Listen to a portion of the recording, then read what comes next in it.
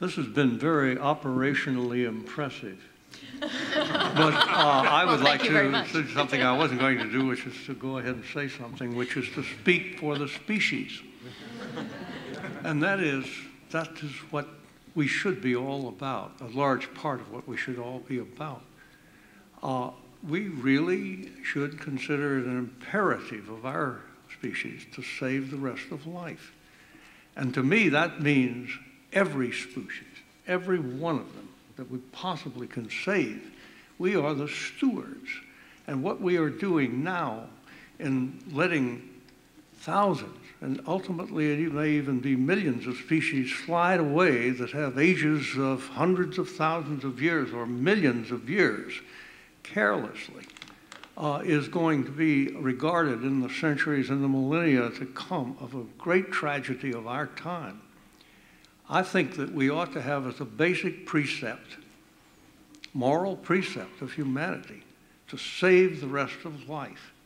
Every single species. And that means learn what they are and find out everything we possibly can about every one of them and start fitting them together in systems that then can be used to judge the efficacy of our, all of our other efforts to mitigate and finally stabilize the environment.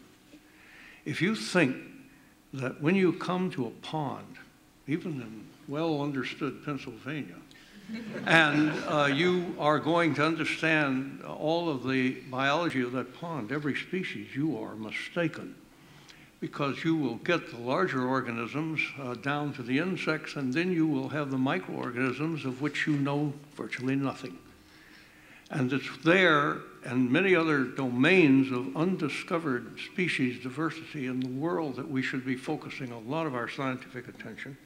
And this is not to slow down uh, or to belittle, but rather enlarge the efforts that have been so well described by this group.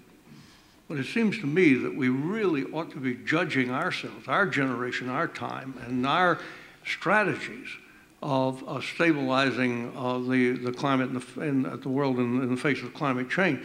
We should judge ourselves substantially uh, by how much we bring through the rest of life through this bottleneck.